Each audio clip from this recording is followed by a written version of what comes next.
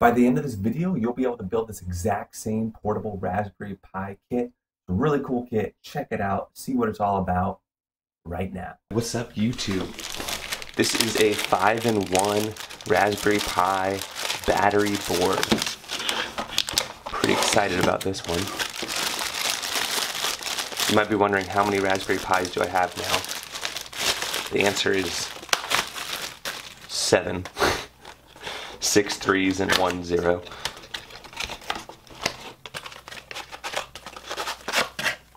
So it doesn't come in the cute little Raspberry Pi box, but as you can see,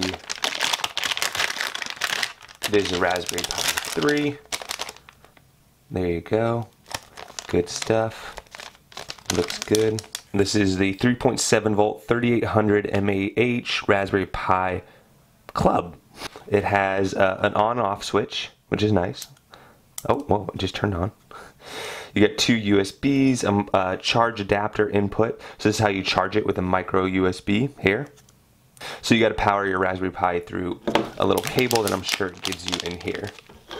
These pegs came with the battery, some screws, some nuts, and some little brass pegs. And then now we have the case. Okay, so you got a nice little mini uh, dongle here. This builds the actual case.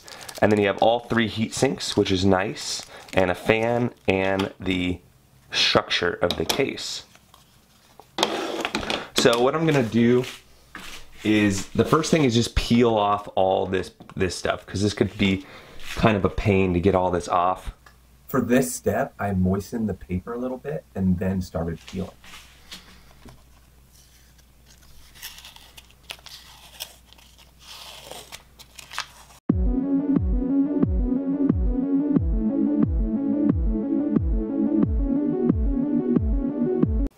You will notice that in this video going forward, I have the fan like this and the fan underneath. Ignore that. Um, I fixed it at the end when I realized that um, it didn't align with the GPIO pins. You just, eventually it needs to align with the GPIO pins. If you do it the other way, I had it like this initially, and although it fits, even if the fan was on the other side, even though it fits, you can see that it, it just doesn't align with the GPIO pins correctly. So that's how you know.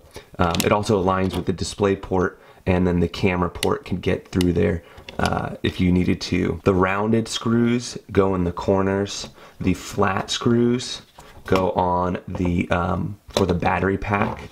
The longest pegs go on the outside brass pegs. The second longest go for the bottom plate to the um, adapter, power adapter, and then the smallest pegs are for the Raspberry Pi 3 back to the build. So the first thing to do is get the bottom plate. Um, these two, the two plates are identical, so it doesn't matter which one you pick. Just don't pick the one that the fan goes on.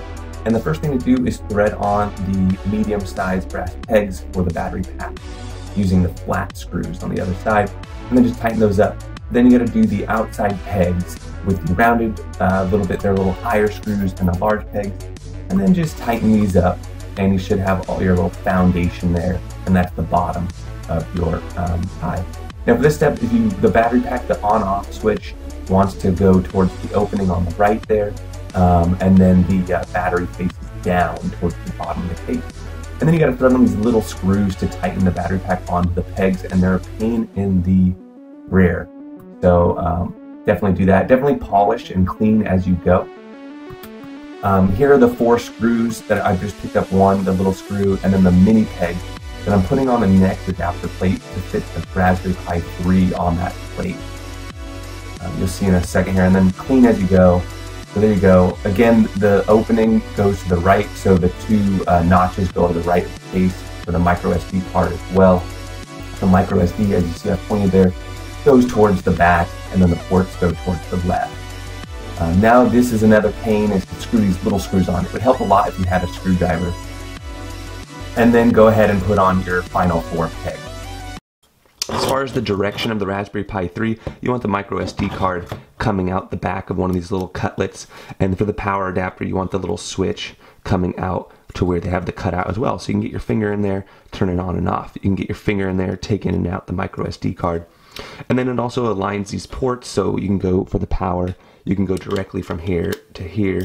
Uh, a really simple um, exchange there. Uh, and then you still have access to your USBs and your LAN, and then you still have access to your GPIOs uh, as well.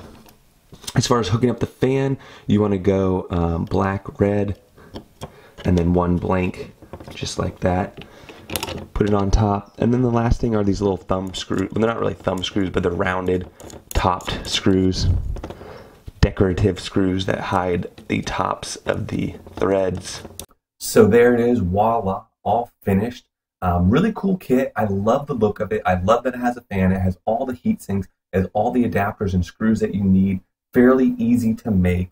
I think the airflow on this is going to be great. You still have access to all the ports, including the camera and the display port. And then the fact that it's portable, you know, no matter where you are, you can power your project. This would be great for like a science fair, or if you're using the Pi for anything where you might not have power available there. So it really opens up a lot of possibilities and it's just a cool looking kit as well. Um, it also has that extra USB there, so if you want, you can charge your phone. All sorts of possibilities here. Hope you enjoyed the video. Remember to like, subscribe. See you on the next.